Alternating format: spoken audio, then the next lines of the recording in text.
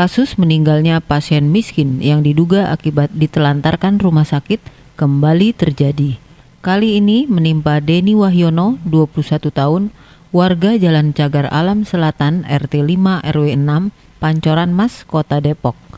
Ayah dua anak itu meninggal dunia Selasa 12 Maret malam di RSUD Sawangan Depok.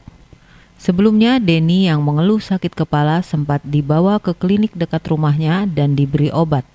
Menurut Dini, istri Deni, sakit kepala suaminya semakin parah bahkan ia kejang-kejang usai minum obat dari klinik.